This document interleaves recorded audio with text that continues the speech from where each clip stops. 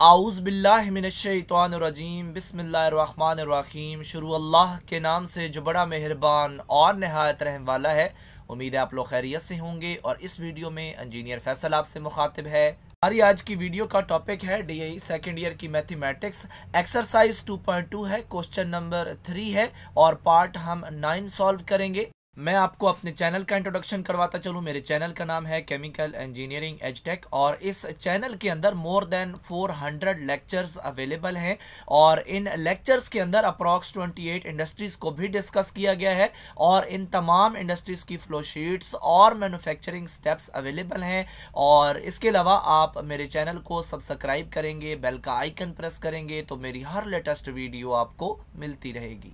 Exercise 2.2 है question number three है part nine है, और यहाँ पे जो हमारे पास सवाल अवेलेबल है, इसको हमने डेरिवेट करना है विद रिस्पेक्ट टू एक्स करना है, और अब हमारे पास जो वाई है, वो दो पोर्शन में नहीं है, बल्कि तीन पोर्शन में अवेलेबल है, और है प्रोडक्ट की सूरत में तो हम इसके ऊपर प्रोडक्ट रूल ही अप्लाई करेंगे, लेकिन अब प्रोडक्ट रूल होगा थ्री फ़ंक्शन वाला, और पहले जितने सवाल हमने तीसरे के किए, वो टू फ़ंक्शन वाले थे, और अब हम हम थ्री फ़ंक्शन वाला फार्मूला अप्लाई करेंगे। थ्री फ़ंक्शन वाला फार्मूला यहाँ पे मैंने पेस्ट कर दिया।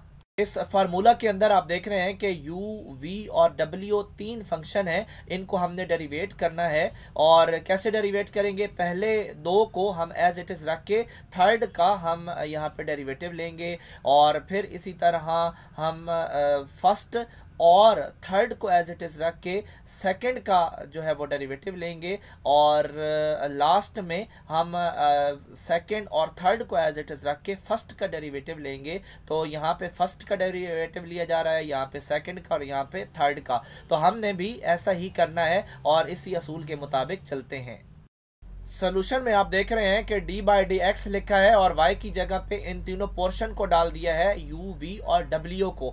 तो उस फार्मूले के मुताबिक ही हम चलेंगे और पहले में हम जो है वो पहले का डेरिवेटिव ले रहे हैं, दूसरे पोर्शन में दूसरे का ले रहे हैं और तीसरे पोर्शन में थर्ड का डेरिवेटिव ले रहे हैं। तो आप जो ऊपर फार्मूला की सेटिंग है, उसको इंटरचेंज भी कर सकते हैं और जो भी आप सेटिंग इस्तेमाल करें, आपको रिज़ल्ट सेम ही मिलेगा। तो यहाँ पे हम पहले पोर्शन को डेरिवेट करते हैं और पहले पोर्शन के अंदर हमने देखा कि x प्लस थ्री है और जो भी हमारे पास सिंगल वेरिएबल होता है, उसका डेरिवेटिव हमेशा वन आता है और जो हमारे पास सिंगल कांस्टेंट होता है, उसका डेरिवेटिव हमेशा ज़ीरो आता है। ये बातें आप याद रखिएगा। बाकी दो पोर्शन एज इट इज़ आएँगे, दरमियान में प्लस है, फिर हमने एक्स प्लस थ्री को ऐसे ही रखा और सेकेंड पोर्शन का हमने डेरीवेटिव लेना है।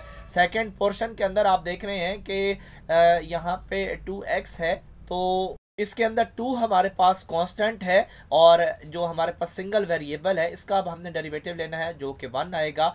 इसके बाद हमारे पास कांस्टेंट है और वो अकेला है और इसका डेरिवेटिव हमेशा ज़ीरो आएगा। बाकी पोर्शन को हम ऐसे ही छोड़ देंगे, यानी दो पोर्शन को हमने एज इट इज़ छोड़ना है, एक फ़र्स्ट और एक थर्ड को। और नेक्स्ट जो है वो फिर प्लस है और इन दोनों पोर्शन को छोड़ के हमने इस पोर्शन को डेरीवेट करना है। यहाँ पे एक्स स्क्र प्लस वन है और एक्स स्क्र के ऊपर हम पावर लगाएँगे पावर पहले पावर में से एक कम। जब एक कम करेंगे तो वन आएगा और इसी तरह यहाँ पे अकेला कॉन्स्टेंट है तो इसका डेरिवेटिव ज़ीरो आएगा। और इसके बाद हमने देखना है कि जिन जिन पोर्शन का हम डेरिवेटिव लिया है, वो बाकी दो पोर्शन के साथ कैसे ट्रीट हो रहे हैं। पहले पोर्शन के अंदर डेरिवेटिव का रिज़ल्ट वन था तो ये दो पोर्शन आएँगे, साथ वन आएगा। इसी तरह इस पोर्शन के अंदर रिज़ल्ट टू था तो जो टू है, वो बाहर हमने लिख दिया और बाकी दो पोर्शन इकट्ठे हमने लिख दिए। और इस पोर्शन के अंदर टू एक्स था, वो भी हमने बाहर लिख दिया और बाकी दो पोर्शन एज इट इज़ रख दिए।